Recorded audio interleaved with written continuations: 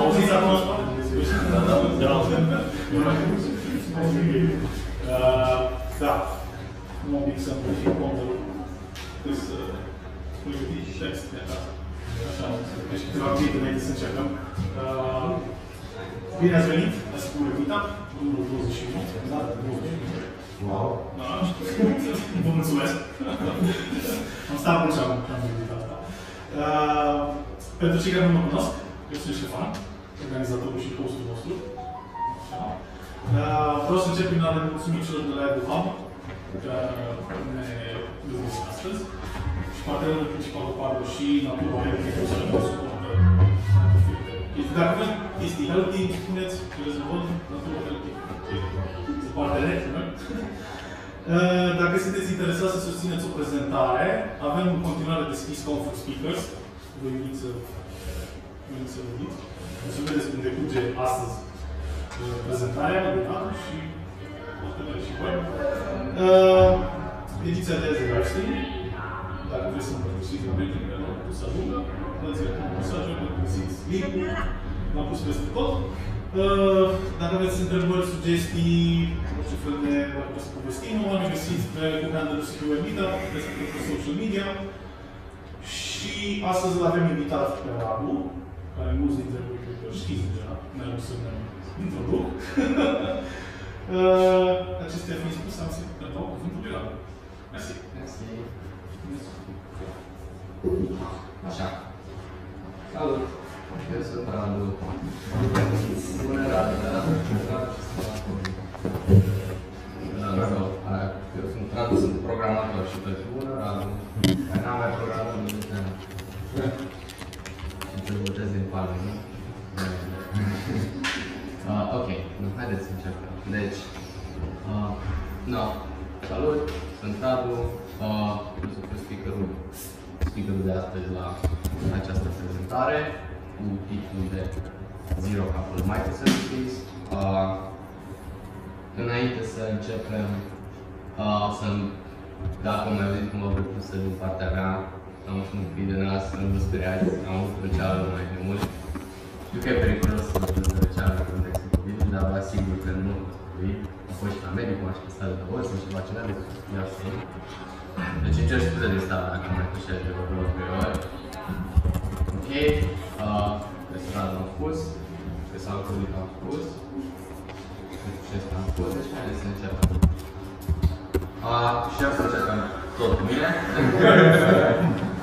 uh, deci, cum am spus, sunt Radu, uh, sunt developer la Nerds, aici în Sibiu. Uh, sunt pasionat de programare și programez cu Pascal Nova. Uh, și în momentul de față, astea sunt unele dintre uh, uh, tehnologiile de care sunt pasionat. Nu știu cât timp să stau cu slide-ul ăsta și să nu pe aici. Ok. Uh, și tot așa, înainte să începem, haideți să vedem puțin care este structura prezentării. Uh, uh, ce să facem? O să luăm o arhitectură, o să discutăm foarte puțin despre ea, după care o să, o să încercăm să punem pe foaie avantajele și dezavantajele ei. Uh, mă refer la arhitectură de backend, la arhitectură de da, un serviciu web. Uh, și o să repetăm procesul pentru mai multe arhitecturi, încercând să găsim cu fiecare arhitectură să rezolvăm de fapt uh, un, uh, un, un dezavantaj pe care avea precedența de fapt. Și în final o să luăm între ultimele, uh, una dintre ultimele arhitecturi și o să facem un exemplu practic cu, cu ea. Și nu, cam asta să fie să tot, uh, tot speech-ul meu de astăzi. Uh, și o să începem cu prima arhitectură, uh, arhitectura monolitică, cu care probabil mulți dintre noi suntem, probabil toți dintre noi suntem familiari. Uh, arhitectura monolitică este foarte simplă, este de fapt o singură aplicație, o aplicație web, uh, care poate sau nu să aibă în spate o bază de date. Acea aplicație web, de fapt, uh, conține tot codul pentru clienții care, care, care o folosesc și astfel clienții discută doar cu ea. Uh, bineînțeles, pot exista mai multe replici, poate fi scalată ale aceleași, ale acelei aplicații Uh, no, deci ideea din spate e foarte simplă, e o singură aplicație, îi spunem monolit pentru că tocmai e o singură aplicație. Bineînțeles, regla de monolit nu a avut-o mereu, regla de monolit a fost dată mai recent, din momentul în care au apărut alte arhitecturi. Înainte el era la fel de, îi spuneam serviciu, era la fel de serviciu, precum sunt și microserviciile. No. Uh, ok. Haideți să vedem care sunt uh, unele dintre avantajele și dezavantajele pe care arhitecturi. Deci am spus că e o singură aplicație care poate avea sau nu o bază de date în spate. Ea este de fapt cea recunoscută Uh, no, primul avantaj ar fi că nu e destul de scumpă din punct de vedere de development și adică pentru client, pentru clientul final. Această uh, uh, o astfel de arhitectură ar fi destul de ok pentru preț. Ce ține de mentenanță, uh, aici avem două buline. O bulină verde este pentru mentenanța infrastructurii și avem un monolit, o singură aplicație de menținut, de vedere uh, din perderea infrastructurii și trebuie să facem să menținem o singură aplicație.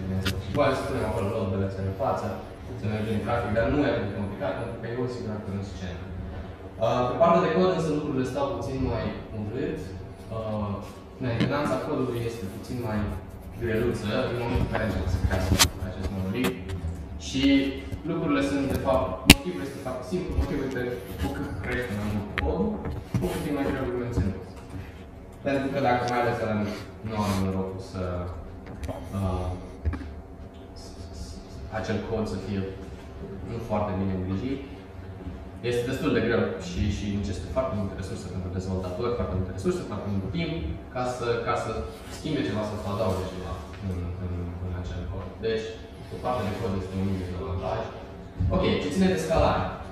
Uh, este destul de ușor de scalat în pentru că avem un singur actor în scenă, dar, din păcate, sunt unele uh, uh, limitări și anume, în, în general, dacă avem ceva o bază de date relațională, din cauza faptului că tot sistemul bate în aceeași bază de date, este destul de greu de scalat acea bază de date. Adică putem scala sistemul, dar suntem limitați de cât de bine putem scala lucruri. Și știm bine, din păcate, că bazele de date relaționale nu prea sunt scalabile orizontal. Uh, ceea ce, na, automat impune o anumită restricție. Deci nu o să pot scala mai mult de oarecare cantitate. Uh, ok. Uh, pe partea de tracing și debugging și monitorizare de trafic stă foarte bine pentru că e o singură aplicație, tot ce se întâmplă putem găsi acolo. Avem însă un alt dezavantaj aici și un, uh, se referă la uh, erorile parțiale și anume nu avem erori parțiale. Deci dacă pică acest serviciu, dacă pică monolitul, pică tot. Deci tot, a picat tot, nu mai avem nimic. Chiar dacă avem front-end, front-end o să pice pentru că el singurul actor cu care comunică în spate este acest monolit. Deci nu avem erori parțiale, din păcate. Uh, și ține de resurse. Resursele tot stau destul de prost, din păcate, și pe partea de server side, pentru că cu cât crește mai mare acest monolit, cu atât are nevoie de mai multe și mai multe și mai multe resurse, ceea ce înseamnă că o să fie nevoie mai, de mai multe resurse pentru o singură replică. Aici mă refer, partea de server side, mă refer la o singură replică. Deci ca să se mai adăugăm încă o replică uh, uh, în momentul în care scalăm, acea replică va avea mai multe, mai multe resurse. Și la fel, la fel de prost pentru partea de development, automat, cu cât crește mai mare acel monolit, uh, developerii o să trebuiască să aibă un calculator mai puternic ca să le start și automat asta induce și frustrări la programator că durează până la start, după care uh, o, să, o să și aibă impact asupra timpului de dezvoltare, pentru că, din nou, durează până la start și totodată sunt și probleme de configurări și chestii care trebuie făcute. Uh, ok. Pe partea de tranzacționare însă este destul de ok cu astfel de arhitectură și anume uh, având un, o singură aplicație în tot sistemul este destul de ușor să uh, facem un, un, un, un, nu cred că este zic arhitectură, să, să, să construim ceva uh, tranzacțional. Adică să facem rollback în momentul în care apare o eroare care nu a fost luată în calcul. Deci e destul de ușor pentru că avem o singură bază de date în spate și avem o singură aplicație. Uh, Și ce ține de management și mentenanță la bază de date, este destul de ușor să o modificăm, este destul de ușor să creăm tranzacții și la fel de bine este destul de ușor să citim date din ea pentru că avem o singură bază de date. Ok, no. Acum, vedem aici că avem destul de multe buline roșii și haideți să vedem dacă putem găsi oare o alternativă, o altă arhitectură uh, care ar rezolva unele dintre aceste buline roșii a, a arhitecturii monolitice și au apărut microserviciile și o să dăm un ochi peste ele și o să vedem cum încearcă microserviciile să a, rezolve unele dintre acele buline roșii, adăugând altele buline roșii, bineînțeles. Înainte să începem, haideți să vedem ce sunt microserviciile. Deci microserviciile sunt foarte simple și ele se ia acel monolit, se împarte cu funcționalități în servicii mai mici, la fel de bine se împart și datele din acea bază de date mare, tot în bază de date, de date mai mici, separate. No, astfel fiecare microserviciu ar avea logica lui și unul în spate. Uh, clienții, spre deosebire de arhitectura precedentă, acum ar trebui să discute toate dintre aceste microservicii ca să aibă în ansamblu rezultatul pe care era, care era anterior. Și uh, la fel de bine putem scala aceste microservicii, dar partea faină aici e că le putem scala separat. Nu mai e nevoie să scalăm toată infrastructura, dacă în uh, arhitectura monolitică, în momentul în care aveam nevoie să scalăm doar fișierul de payment, noi scalam toată infrastructura, pentru că, de fapt, totul era o singură aplicație. Nu, aici am scalat doar microserviciul de payment și toate celelalte le-am lăsat cu același număr de replici. Ok. No. Dar, datorită faptului că acum avem baze de date diferite și nu avem acces la ele din alte microservicii, pentru că ar, ar viola uh, patternul de single responsibility și single point of truth, bine, nu single responsibility, mai bine spus single point of truth, uh, acum mai apare un mod de comunicare și acum comunicarea între microservicii și sunt două tipuri de comunicări. Putem folosi uh, uh, putem comunica între microservicii pentru a scoate date din microservicii sau putem comunica între ele pentru a crea o mutație ceva în acel microserviciu. Uh, no, ce se folosește? Se folosește de fapt protocolul HTTP, care de fapt sunt niște coluri de REST. Ok. Uh, haideți să vedem dacă o astfel de arhitectură ar, ar uh, uh, ar, ar, nu știu cum să zic, ar face să fie verzele sublinele care erau roșii în, în arhitectura precedentă și în arhitectura monolitică. No, și în primul rând o să vedem că e mai scump. Pentru că automat sunt mai mulți actori în scenă, trebuie mai mult gândit, e nevoie de uh, uh, uh, un arhitect care să gândească în ansamblu, ce se întâmplă, ce, ce comunică, deci e mai scumpă. No, la ce ține de uh, uh, mentenanță, aici bunurile sunt universale. Uh, este mai greu de menținut infrastructura, pentru că sunt mult mai multe, mai multe aplicații care trebuie ținute, mai multe aplicații care trebuie scalate, mai mult management de trafic. Uh, dar, pe de altă parte, este mai ușor de menținut codul, pentru că fiecare microserviciu este, mai, este mic și automat va conține doar codul uh, care e related la funcționalitatea pe care el, de fapt, o face. Deci, e mai ușor de menținut codul și de, de, de, de schimbat chestiile în, în microserviciu. Cine de scalare lucrurile astea destul de bine, nu este foarte greu să scalăm, pentru că automat tot ce trebuie să facem să mai, uh, dacă avem infrastructură, să mai uh, uh, deschidem o replică, să mai uh, uh, să mai aprindem un microserviciu, nu știu cum să spun, să mai dăm start, uh, și totodată, datorită faptului că am, am, am splituit bazele de date și acum le avem separate, load-ul cu bazele de date acum uh, automat este mai mic. Și nu avem el îi are teoretic și aici câteva, câteva limitări, dar automat nu îi sunt la fel de mari precum erau limitări de la arhitectura monolitică. Pentru că, să zicem că dacă avem uh, un microserviciu care avem care, care face payment și alt microserviciu care uh, face management la produse, banam, uh, no, în momentul în care baza de date a microserviciului de produse nu va fi afectată deloc dacă payment-ul devine foarte, are un high demand foarte mare. No. Deci automat cumva sunt împărțit load în bază de date și ne oferă o posibilitate să scalăm mai bine. Ok. Ce ține de resurse, ambele sunt îmbunătățit, atât pe partea de, de, de postare cât și pe partea de development, pentru că, din nou, e un singur microserviciu, e mic și putem avea o infrastructură de mai mare undeva într-un cloud și noi îi dăm start local și conectăm la toate restul microserviciilor în cloud și asta automat no, nu necesită foarte multe resurse. La fel și pentru resursele necesare pentru o singură replică pe, pe, pe, pe un server. Pe, pe, da, pe platform undeva într-un cloud. Ok. Acum, ce ține de tranzacții, din păcate aici lucrurile sunt înrăutățit și este un dezavantaj pentru că automat este mai greu de făcut management la tranzacții pentru că ai mai mulți actori în scenă și ai mai multe baze de date. Deci automat e nevoie de un mecanism ca să, ca să facem cumva rollback la un serviciu dacă altul pică, ceea ce e foarte greu de, de, de, de ajuns la așa ceva. Ok. O altă problemă care a apărut este problema tracing-ului și tracing, debugging, utilizare de trafic. Deci, din cauza faptului că acum avem mai mulți actori în scenă, este, nu este imposibil, este mai greu. Dar e mai greu să, să facem monitorizare de trafic și, și, și debugging și să vedem unde a apărut eroarea. Uh, ok. Pe partea de partial failure, aici s-au îmbunătățit lucrurile, dar nu destul de bine, și anume, uh, teori, teoretic, dacă ai un serviciu complet izolat, dacă el pică, nu afectează deloc sistemul. Celelalte servicii o să, o să continue să lucreze, continue să fie up și sistemul să fie up, mai puțin feature pentru care au picat.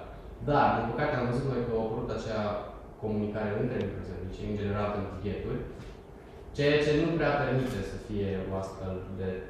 Nu ne prea permite să mai avem acest partial failure. Pentru că ce folos eu ca microservicii dacă oricum el comunică cu un alt microserviciu? Și dacă pică A comunică cu B-ul, da? Pică B-ul, pică și A. Deci nu, nu, nu prea rezolvat. Deci ideal există partial failure, dar doar în contextul în care microserviciul nu comunică cu niciun alt microserviciu. Ceea ce, să fim sinceri, destul de greu de, de e practic, nu știu, eu nu prea am întâlnit cazuri în care, într-adevăr, nu ai cum să comunici cu microserviciu. Ai nevoie de date. Ok. Ce ține de bază de date, aici mentenanța a rămas la fel, e ok, pentru fiecare are bază de date de, uh, uh, ale lui, dar la fetch de date au apărut o, uh, să zic eu, a început să fie mai complex. De ce? Pentru că chestiile care se rezolvau anterior în arhitectura monolitică cu un query mai complex de bază de date, de SQL, de Mongo, de Cypher, nu contează, orice bază de date am fi avut. Deci chestiile care, fetch de date care era rezolvat în mod normal printr-un query mai complex, aici nu mai poate fi așa, pentru că avem două surse de date. Prima sursă de date este baza de date, iar a doua sursă de date sunt cele de microservicii. De aia, ce, ce, ce se întâmplă, de fapt, scoatem datele din baza de date, după care facem fetch la date din alte microservicii și după aia creăm cod, ca memorie, să combinăm și să facem ce vrem cu acele date. Deci, s-a complicat treaba. Ok. Uh, așa. Deci, una dintre liniile roșii care au apărut uh, în urma introducerii microserviciilor cu acest debugging și tracing. Uh, și haideți să vedem dacă putem face ceva ca să îmbunătățim uh, acel dezavantaj, ca să nu mai avem. Și haideți să discutăm puțin despre anumitele orchestratoare. Uh, dar înainte să vorbim despre ele, hai să, hai să vedem puțin care e problema. Deci am zis noi că acum microserviciile pot comunica între ele. Și lucrurile par destul de simple atunci când avem două microservicii, dar din păcate se complică în momentul în care avem mai multe. Și putem observa destul de frumos, destul de ușor aceste buze de canji care apare, care duce de fapt spre haos și nu mai știu ce se întâmplă acolo. Uh, și de aia au apărut așa numitele orchestratoare, care nu sunt nimic altceva, joacă rolul unui giratoriu, practic, ceva de genul, care nu face nimic altceva decât e un punct comun între toate microserviciile, toate comunică cu acele orchestratoare și ele redirectează traficul spre alte microservicii. Asta e tot ce fac. Automat, când putem pune și logică în acele orchestratoare, uh, de exemplu, caching, caching acolo, dacă vrem, putem pune logică de autorizare, dacă se dorește. Uh, și totodată din cauza faptului că uh, toate microserviciile comunică cu, acest, uh, cu, cu aceste orchestratoare, e nevoie de o scalare pe orizontală destul de bună pentru aceste orchestratoare. Nu e neapărat nevoie să fie un singur orchestrator în sistem, putem să ne jucăm cu ele și să facem mai multe orchestratoare. Uh, gen, să fie două orchestratoare și unul mare și tot Ok. La program constul la orchestratoare au rămas tot așa, cum, precum și la celelalte servicii. Diferența este că acest uh, gândăcel s-a făcut în verde, că acum e mai ușor să facem monitorizare de trafic și debugging pentru că avem acel punct comun, putem pune loguri acolo, tracing și alte chestii. Ce ține de partial failure și management la database e la fel. Ok. Una dintre problemele care mai au rămas sunt acele tranzacții acolo din colțul sus stânga. Și haideți să vedem mai adânc ce înseamnă, ce reprezintă de fapt acea problemă. Deci, haideți să luăm un exemplu. Să zicem că există un client și avem un microserviciu care are o bază de date în spate. Clientul dorește să facă o mutație pe acel serviciu. Uh, no, în momentul în care se creează, vrea să creeze, nu știu, o persoană sau o entitate oarecare. No, în momentul în care s-a făcut request-ul, acel microserviciu va schimba ceva în baza sa de date, după care să presupunem că va vrea să facă niște mutații pe alte două microservicii. Nu. Acele microservicii la fel vor face ceva mutații în baza de date, după care unul din ele se presupune face două mutații spre alte două microservicii. Nu. Dacă oricare din aceste două frunze pică, o apărut o eroare. Nu știu. Trebuie să avem un mecanism să facem rol de de set-urile de microservicii de precedent. Lucru care e destul de greu făcut, practic imposibil. Și au apărut tot felul de mecanisme, nu știu să zic, gen am văzut la un moment dat tranzacții pe REST în care trebuie să faci 3 call în loc de 1. Nu, aceste mecanisme de fapt complică mai mult treburile decât le rezolvă. Și haideți să vedem dacă poate găsim, poate putem modifica cumva arhitectura să rezolvăm și problema tranzacțiilor. Că pare destul de fain cu serviciile, dar dacă nu avem tranzacții, cumva pică tot, că nu mai are rost. Ajungem foarte ușor și repede într-un state invalid cu sistemul și nu mai avem ce face. Trebuie să intrăm manual și să schimbăm date. Uh, și au apărut așa numitele queue-uri.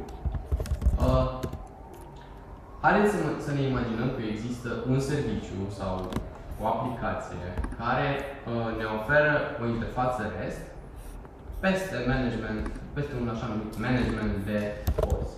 Cozi care sunt, de fapt, cozile alea sunt din, uh, uh, uh, din uh, uh, structurile de date pe care cred că am învățat, cozile care au, implementează uh, modelul first in, first out, uh, și putem să avem să vedem head-ul uh, cozii și putem să ștergem din coadă și să adăugăm la sfârșit. No.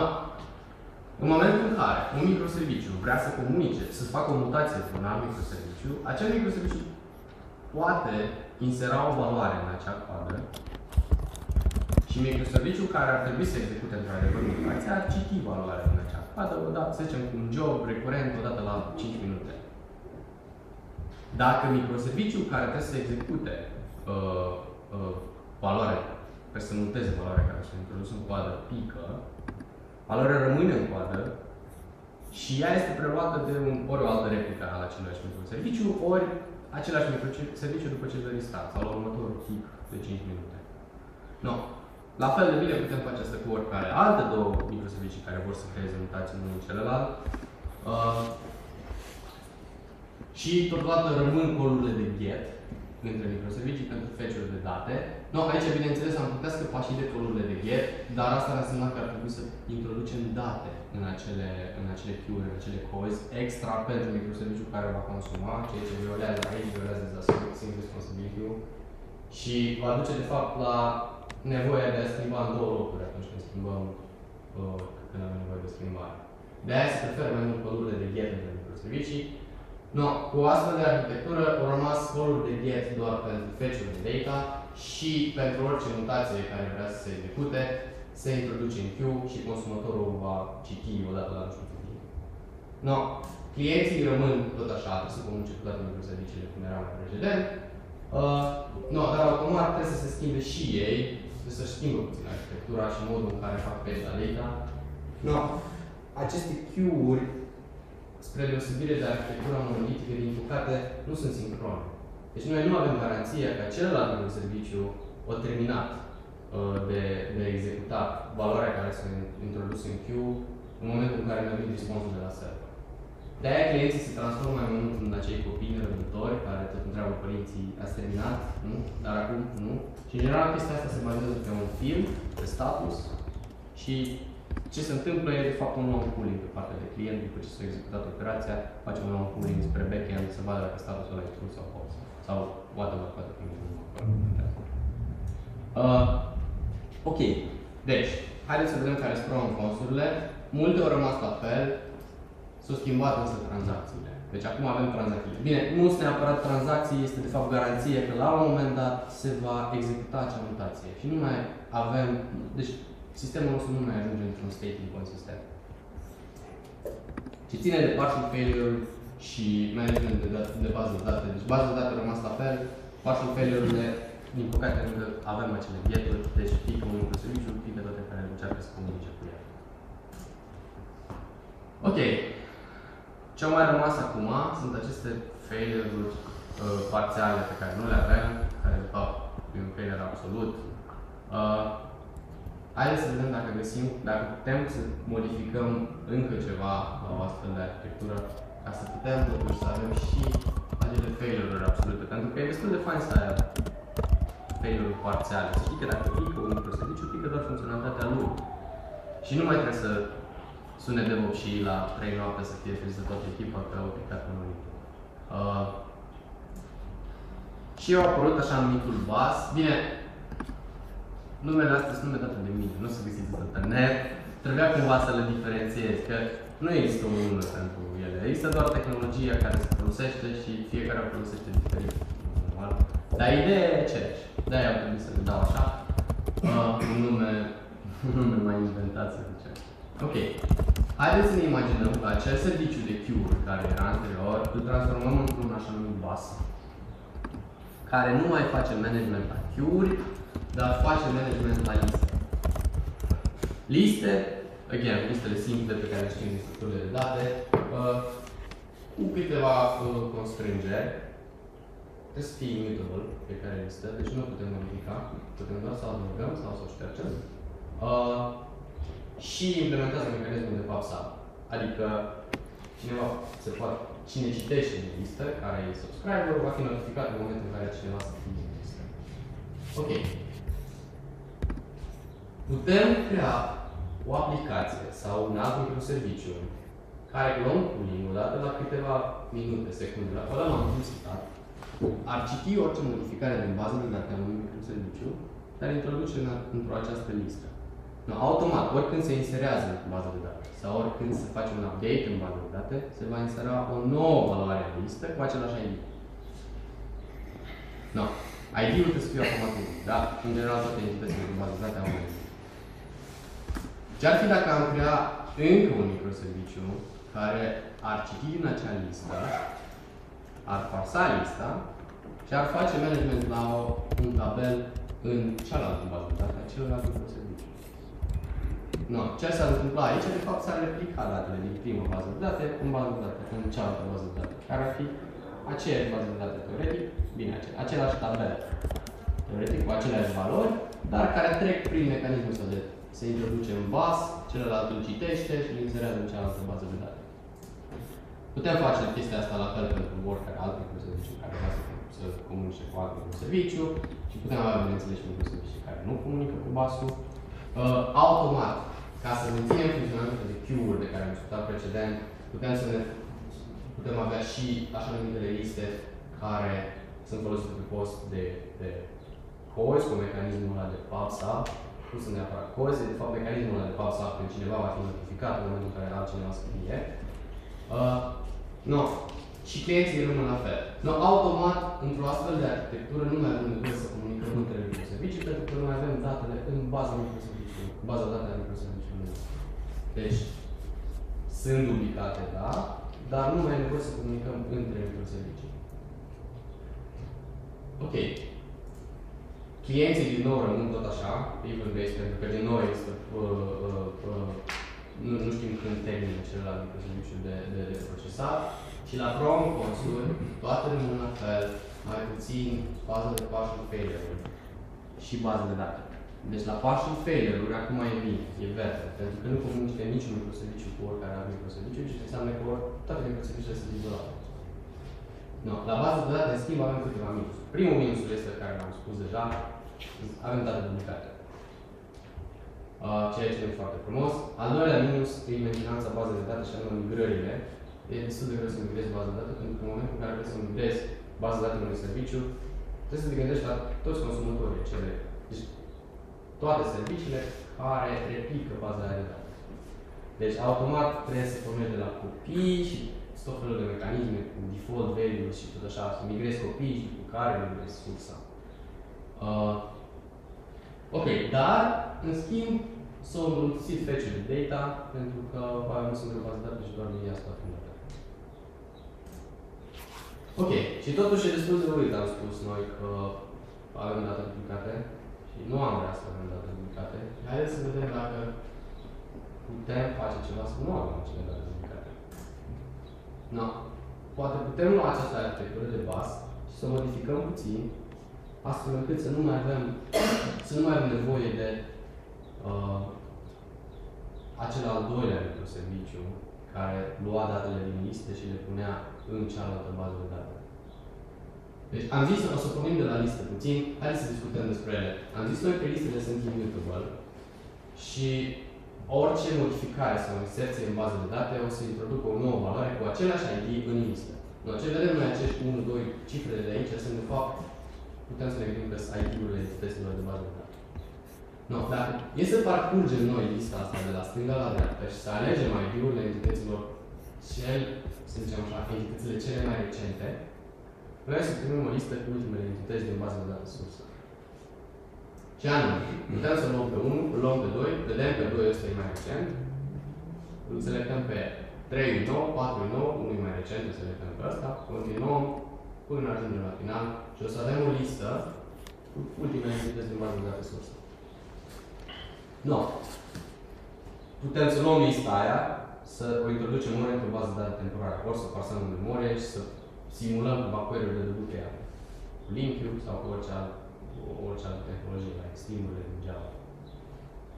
Uh, apare o altă problemă însă și anume din cauza faptului că listele erau immutable, în zis noi, și am zis că la orice modificare și orice inserție în bază de date o să se creeze o, un nou record în această listă, ceea ce înseamnă că o să crească exponențial noile listei, ceea ce înseamnă că pentru a parsa o astfel de listă, cu timpul o să fie nevoie de mai multe resurse și mai mult timp. Ceea ce nu e destul de ok. Vrem în general perioadele de bază de date să fie foarte rapide. Uh, de aia e nevoie de un mecanism de compactare a listei. Și anume, noi într-adevăr avem nevoie doar de ultimele valori din listă, cele mai recente valori, ca să, doar ca să recreăm uh, acea bază de date, acel tabel cu ultimele entități. De aia putem parcurge din nou lista de la stânga la dreapta și putem crea o altă listă, că am zis că e immutable, în care stocăm doar ultimele valori. Putem să spunem că le ștergem în momentul de față ca să fie mai ușor. Deci, o să parcurgem de la stânga la dreapta și o să ștergem valorile outdated, alea care au o versiune mai nouă.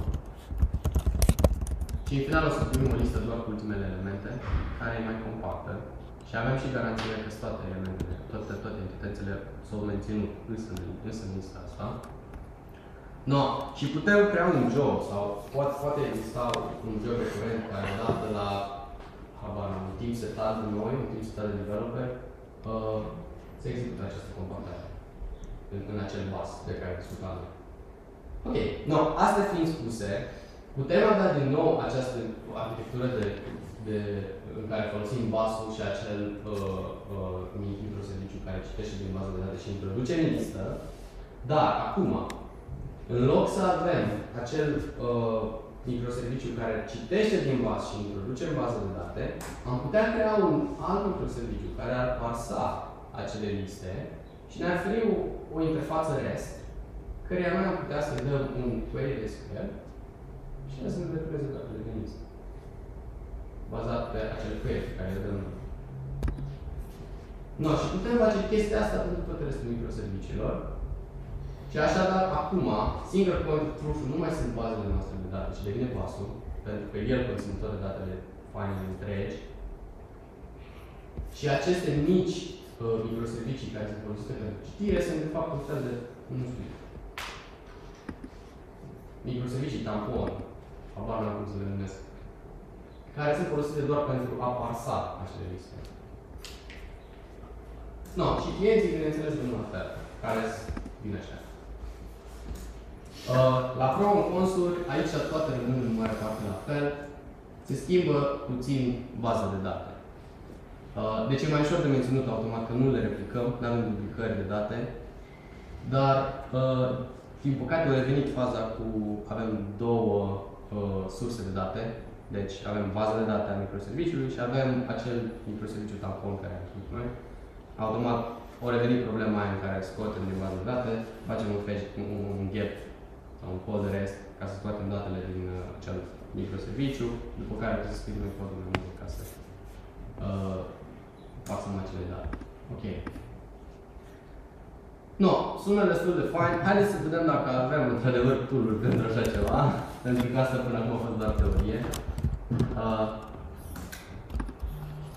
și ca și tool uh, pentru acel bus avem Kafka, uh, care e un uh, open source project de la Apache. Uh, pentru acel microserviciu care a replicat datele din baza de date în Kafka, în, în bus, avem Kafka Connect, făcut de aceeași oameni, tot open source. Uh, pentru acel microserviciu tampon avem acel Kafka SQL Database, care face fix chestia de care discutam. Și pentru queue-uri avem RabbitMQ sau Amazon uh, SPS-ul. RabbitMQ e un proiect open source pe care îl putem folosi, sau Amazon dacă avem bani. Nu. No. uh, No, bine, haideți să vedem acum, să trecem la exemplu la practic și să vedem cum ar arăta o, o astfel de arhitectură. Uh, dar înainte să trecem la exemplu practic, haideți să discutăm. Așa. Uh, am ales ca exemplu uh, vasul ăla, primul vas cu replicare de date. Uh, și, na, noi cu colegul meu, Mihai Mesăr, care va prezenta la următoarea va, va, va fi speaker la următoarea prezentare. Ne gândeam să facem așa o mini uh, platformă de online shopping. Am zis de Brut Commerce, am să mi la Mihai de la, de la Amazon. Noi nu am Brut, am zis Brut Commerce. Uh, no, această platformă ar avea spate niște microservicii care s-ar ocupa de toată logica de produse, order, payment, payment. Uh, ar avea un front-end și niște clienți, prin web app, clienții ar comunica prin front-end cu back-end-urile.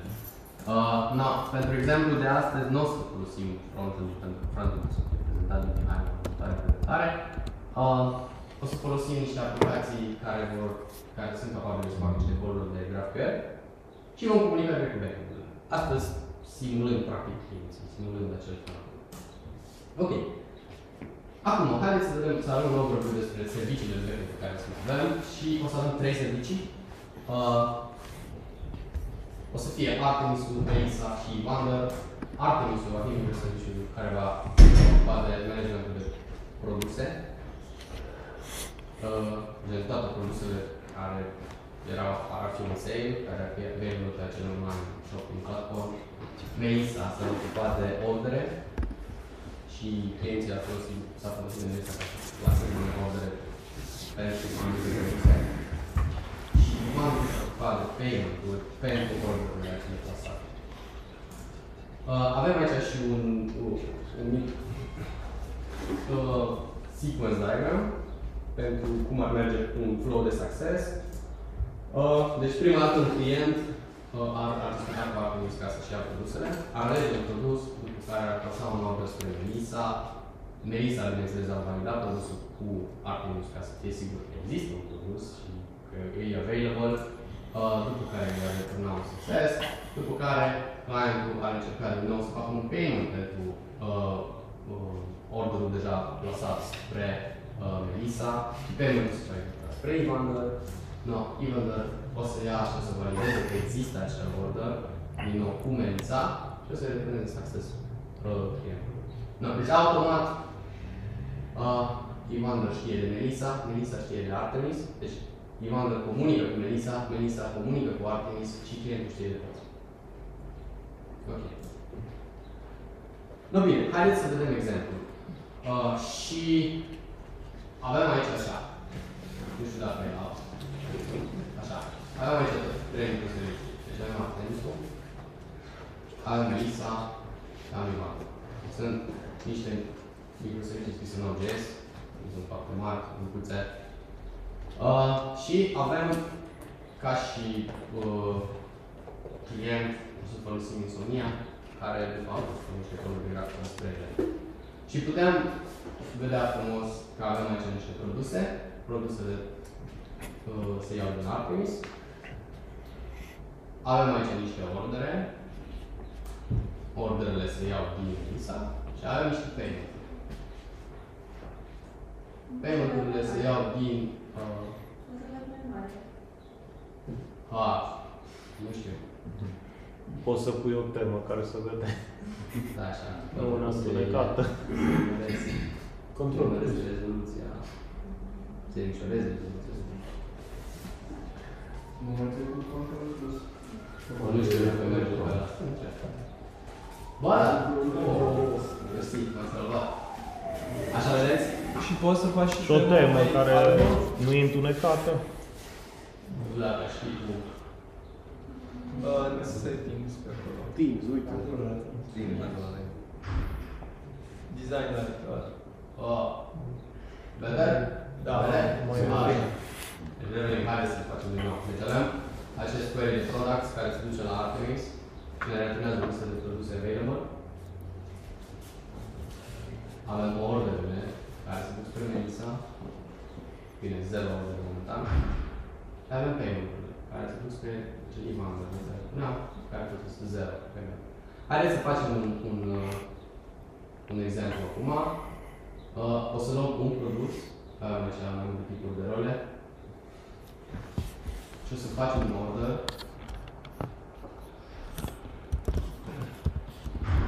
Să vedem că s-a creat un order. Putem să și scoatem toate orderele, o să le vedem. Cu statusul de idle. Uh, no, dar nu există încă niciun payment pentru acel order. Deci trebuie să-l plătim cumva. De aia o să luăm ID-ul acestui order. Trebuie să creăm un payment pentru acest order. Și să vedem că s-a creat un payment pentru acest order și acum, în Melissa, dacă facem get, la un moment dat, acest status o să se schimbe în register. Nu, nu o să se schimbe uh, destul de repede, adică nu o să fie sincron în momentul în care am creat payment o să fac change register. Nu. El o să treacă puțin timp până când Melissa o să ia și să proceseze toate payment-urile care au fost, face acel job și o să treacă în status register în cazul în care există un payment pentru acest, uh, uh, pentru acest order. Ok, automat am zis noi că comunică pentru validări, deci dacă o să luăm un ID care nu există, să zicem un produs care nu există, și am eu aici niște ID-uri inexistente, o să încercăm să creăm un order, o să vedeți că o să pice cu validation error. Și o să ne spună la un moment dat că produsul nu există, ceea ce înseamnă că trebuie să comunice cu Artemis ca să vadă că produsul nu există, că în Artemis este produsul. Ok. Uh, la fel avem și pentru order payment-uri, din câte știu, stați să văd, nu mai țin minte. No. Deci și uh, payment-urile uh, o să verifice că există un order, ceea ce înseamnă că comunică cu, uh, uh, cu Melissa. Ok, no. O să iau acum și o să dau jos artemisul. O picat artemisul. Și o să vă și arăt picat. O să copiez totuși. Unul aceste. Undo. Deci artemisul îi dau. Și o să încerc să creez un nou. Un ID care există. Și o să vedeți că merge. La fel de bine, pot să iau ID-ul acum asta creat. Mă duc și fac și un payment. Și cu success și la un moment dat acest order o să fie un order, să vedeți că nu mai apărut unul care a trecut din aer în registră. Ok. Pot să mai creez un order. Înainte de toate, haideți să vă arăt că și merge, că dacă pun un produs care nu există, o să-l valideze și o să spune că într-adevăr nu există. Deci dacă încerci să creezi un produs, un produs care nu există, în continuare avem eroare de validare. Și oare cum face la carte insultată? Magie. Acum, uh, haideți să mai creăm totuși un order, să iau ID-ul orderului și să dau jos și Melissa.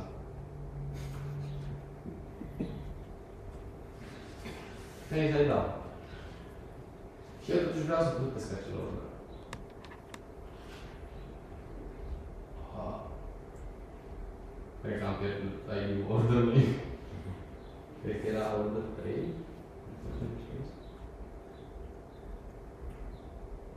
Stați, haideți să dau start. Eu din nou.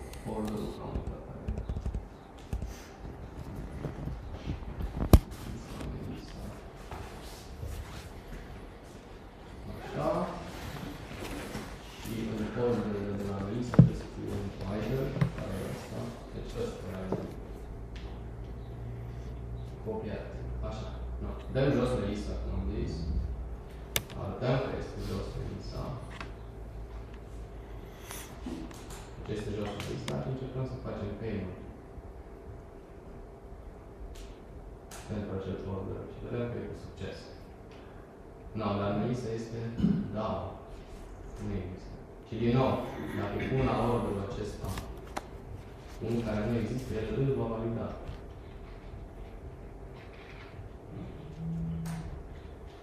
Mă spune că nu există. No, acum, eu dacă pornesc Melissa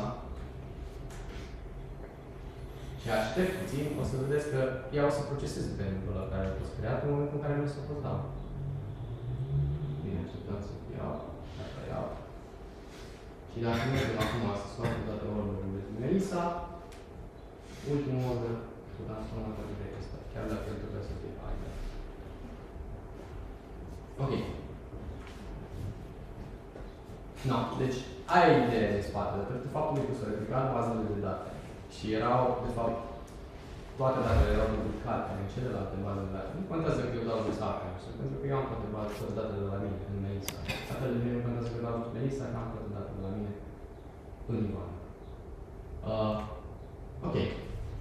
Haideți să vedem puține resurse care au fost făcute pentru, care le-am pus pentru, pentru această prezentare. Deci avem aici Kafka, Kafka Connect, Kafka SQL Database, care le-am mai pus precedent în slide- în slide-urile precedente. Webpack-ul, Docker și Docker Compose l-am pus pentru că uh, astea sunt tehnologiile, unele dintre tehnologiile folosite pentru acel tip de exemple și toate exemplele pe care le-am avut astăzi le puteți găsi pe acel uh, pe acea organizație de GitHub, github.com slash WooCommerce. Uh, sunt publice, le puteți face, vă puteți juca cu ele, tot ce trebuie să faceți să dați un Docker Compose la și o să meargă și la voi. Uh, no, ce ține de mine, aici aveți contactul meu, puteți să mă contactați oricând aveți întrebări sau când vreți să beți o bere. Uh, întrebări. Am o întrebare. Uh, N-am mai lucrat cu servicii. Basul acela, din câte am înțeles, uh, cumva replică toate YouTube-urile. Nu? Da. Bine, el e folosit ca să fie replicat pe lucrurile, dar în, infra- în, în, în arhitectura despre care am discutat acum, care am luat ca exemplu acum, în cealaltă arhitectură, aia cu bas secund, nu replică. Adică, ce se întâmplă, datele sunt copiate într-adevăr, da, deci sunt copiate din bazele de date a fiecărui microserviciu în bas, dar atât. Nu se copiază în altă parte, rămân în bas. Și astfel, cumva, bazele de date a fiecărui microserviciu devin baze de date temporare sau ceva de genul. Că, în final, basul singur. Și care ar fi de dezavantajul dacă am avea o bază de date monolit care comunică la toate speciile? Păi, problema e instalarea. E bombardată din toate părțile. E o singură bază de date care o bombardează din toate părțile. Și chiar recent, dacă ne împinge păcatul să avem o bază de date relațională, cum e MySQL, MariaDB sau orice altă bază de date relațională, nu prea avem suport de scalare la astfel de baze de date. Deci e foarte greu. Gândiți-vă că se pierde point of truth-ul și apar delay-uri, pentru că sunt tot felul de sunt tot felul, și acolo sunt tot felul de arhitecturi, de cum scalezi baza de date, dar în final, ideea e super simplă. Când scrii una, trebuie să scrii restul. Aia e toată ideea. No, și automat, în loc de un write, faci write decât în nodul în clasa. Deci așa este mai eficient decât dacă ai avea mai multe baze de date care se replică sau ai avea un master și mai multe slave-uri, e mai... Eu nu știu dacă e mai eficient, ideea e că e mai, probabil mai clean, nu știu, mai ordonat, să spunem așa. Că cumva el, uh, baza... Uh, scuze. Uh, o să avem 100% garanție că datele o să vină și o să fim notificați. Și au fost făcute strict pentru chestia asta, Kafka. Deci, ea e doar un, un pas care conține liste cu pasta. Na, și poate fi scalat. Atât, ai tot ce face. Și deja cu restul chestiilor care vin peste, uh, se completează. Gen, cum e microserviciul ăla mic de, de uh, replicare de bază de date sau microserviciul de Kafka SQL Database. No, și pe lângă asta, care e faza interesantă la Kafka?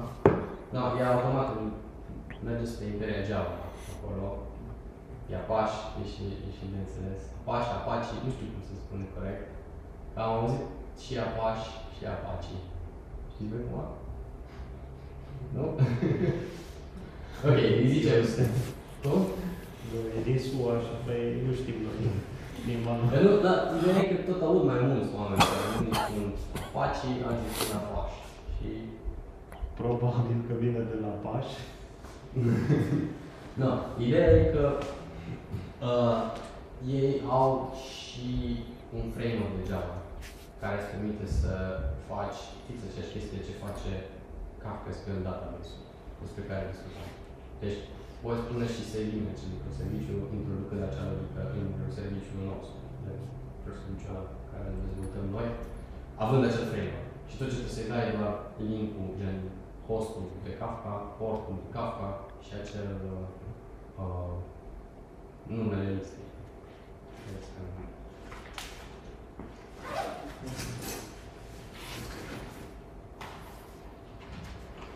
Alte întrebări din public. Nu vă.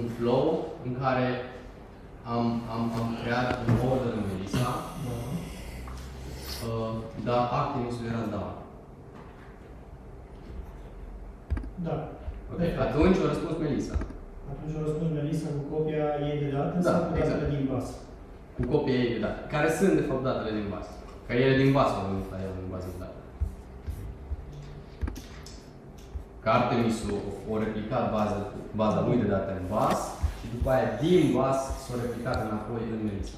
Astea sunt datele și logica pentru a răspunde cu acel product, Așa. da, care poate fi complexă. Ai un microserviciu care Mhm. uh, are o logică, nu neapărat doar date. Logica unde era? Și logica ai duplicat Păi nu e logică duplicată. Nu, Da, nu. deci- Logica aia nu se duplică. Da. Logica aia, logica aia a creat rezultatele în bas deja. Deci tu, te, tu ce consumi din bas, consumi doar elemente care au trecut deja prin logica aia. Bun. Deci am Deci Artemis îl pune în bază doar după ce le-a procesat. Aia aia e important. După ce există în baza lui de date. Și la fel și Melissa. Ea Da, pune în bază. una din valorile din product, acum mi-a răspuns cu definiția productului care e play. Mhm. Da, dar una din valorile care le întoarce un serviciu poate fi o valoare calculată. Un Ok. sumă, ok? Și întrebarea era unde e calculul A, păi depinde. Dacă avem mai multe locuri unde vrem să calculăm acea chestie, putem extrage o librărie care e folosită în ambele microservicii, dacă într-adevăr avem nevoie. Sau putem să stocăm în bază de date a primului microserviciu în momentul în care s-a executat și după care acea valoare deja calculată o să fie replicată spre rest. Da, da, da, da, da. Ideea e că la așa ceva să te gândești în evenimente. E un event source architecture. Întotdeauna tu nu cauți să recalculezi chestii, tu cauți să iei o entitate care știi că e acolo și au avut niște evenimente previously pe ele și tu iei doar ultim, da. e ca un git Snapshot. commit. It- It's like a git commit in a bus. Și tu iei ultimul latest version al entității respective and you hope for the best. Există și situații super nasoale în care se duce în cap totul, că na, se întâmplă chaos teorii, dar de obicei merge. Iarăși cred că sunt, era un pic diferită întrebarea, în sensul că dacă vrei să vezi lista de uh, produse Da. și lovești endpoint-ul respectiv și el e down, nu o să o primești. Da, da. În schimb, celelalte două o să opereze având lista de produse în baza lor de date. Deci probabil asta ar fi răspunsul. Într-un fel are două, două fețe sau două nuanțe. Da, una e cea de calcul și una e cea de asta. Deja, deci dacă pică Artemisul, clienții nu o să mai, fi, nu o să mai poată vedea produsele. Dar în schimb o să poată pune order care mă, dacă o intra deja să zicem pe o, o pagină unde produs. Dacă e deja acolo, el o să poată să facă order, pentru că e Artemis. Și tot așa, dacă pică și Melissa în momentul în care va ajunge la pagina de payment, eu să poată să execute payment, chiar dacă celelalte două sunt off. Și atunci paradigma single point of truth, cum o, Păi, cum ajunge? îi teoretic single point of truth, nu, nu mai, nu mai e bază de date. Nu mai e bază. Nu mai e bază. E Deci, bază. single point of truth devine bază. Da. El e. Și automat, nu, trebuie să avem grijă de bază, să nu, să nu pierdem datele din bază. Da. Kafka face asta. Da. E, E super ce face Kafka.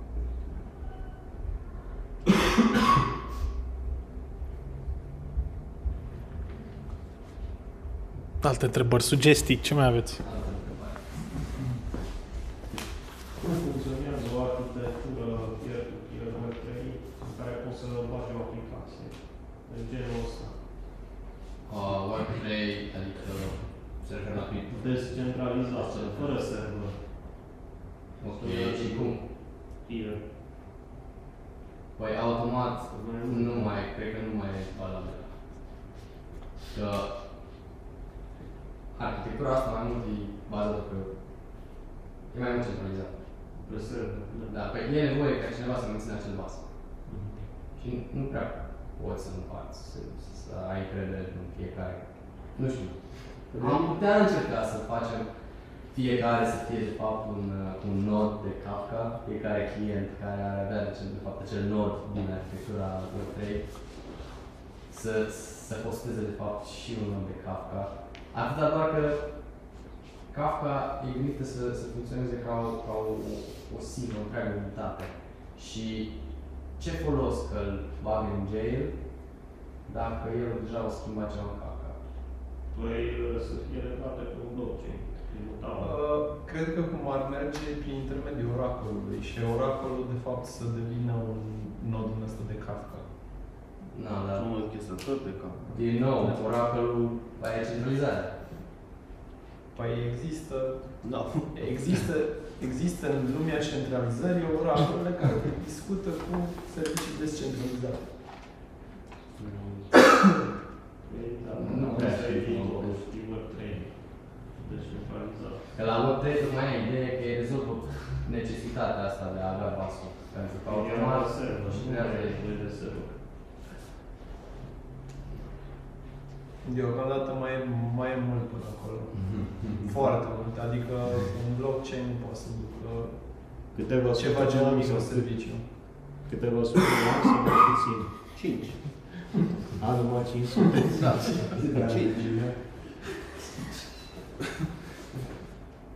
În 5 ani se rezolvă. Am 5 ani, da. Ar fi fost interesant să participe și Daniel, care a vorbit data trecută, exact pe tema asta era. Deci era, se potrivea perfect. De obicei, când te legi de Web3 în arhitecturi de genul ăsta, la Elrond există observable squads. La Ethereum există noduri care nu validează, sunt noduri care triggeruiesc eventuri în Kafka. La fel, deci tu când ai două, cum, cum vedem noi, când noi mai lucrăm și cu niște contracte care le legăm și le băgăm. Deci noi vedem blockchain-ul, un smart contract de blockchain, sau orice lucru care îl faci cu blockchain, îl vedem ca un contract specializat în domeniul ăla. În momentul când tu ai un contract către un serviciu pe care vrei să-l bagi într-o arhitectură de genul ăsta, să-l scalezi și să nu fie dependent de el, tu automat îi pui un observable squad și de fiecare dată când se întâmplă ceva cu contractul tău, se bagă în Kafka. În chestia, deci o lume centralizată și o lume descentralizată se poate lega prin al pușui evenimentele dintr-o parte în alta. Adică microserviciul tău își semnează cu tranzacții în blockchain datele și tu observi din blockchain către serviciul tău. Și se face ca un bridge. Cum e conceptul de bridge între chain-uri, la fel Da. să faci tu un bridge între the blockchain, data și your own asset data. No. Între ele, tu întotdeauna o să ai un link de o cheie unică. Nu, cam asta e. Da, da, e- e și asta centralizare. Adică Bine, Kafka e pe partea de... unii Server. mai pot să-ți dea priză, da, de gen, nu. Da. Centralizat, să zicem. Nu-i total.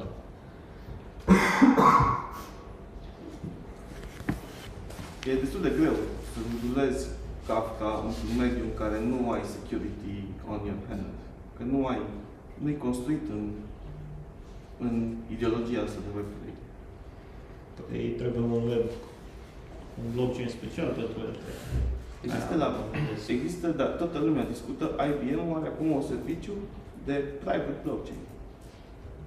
Adică dacă vrei private stuff, ți iei serviciu de blockchain de la IBM, care zice că merge extraordinar de bine, în user stuff. Adică, na. Sau îi faci un fork la Ethereum și îți faci private network, network-ul tău. Mai Nu sunt. niște nimeni. Da. Da, mie îmi place blockchain-ul de la iCash. E rapid și ieftin. Dacă ai auzit. Nu știu. nu știu. Se poate porta Ethereum pe el, contractele. Și foarte rapid și ieftin. Kafka am folosit pe un proiect de IoT. Kafka? Da. Da, are MQTT Connect. Exact. Și Super. o folosim. Super. Avem un, avem un, e un client din, nu mai știu exact de unde e ca locație, are niște mașinării imense și le trimit, au o grămadă de senzori pe ele și fac un dump de date Mhm. și Kafka se ocupă și face, face tot. Și nu dar arată rău până acum. Nu. Deci MQTT am avut probleme cu plus alte Kafka. chestii, dar cu ăla nu, ăla a, a mers bridge tot timpul. Asta e că în IoT cam astea două, Kafka și MQTT, zice că e love, love, Da? forever. Da, da. Ok. Bun. Păi, mulțumim,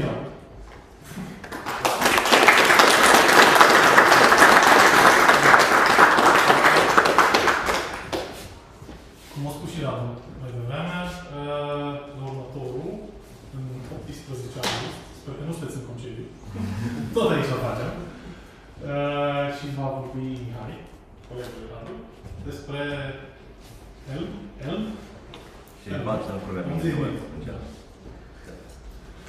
Deci, vă mulțumesc pentru participare. Mersi că ați venit. Pe la radical afară, pe la radical, așa, cât de cât aici. Și ne vedem data viitoare. Deci, mai stați cu ce să vă povestiți. Nu vă președinte.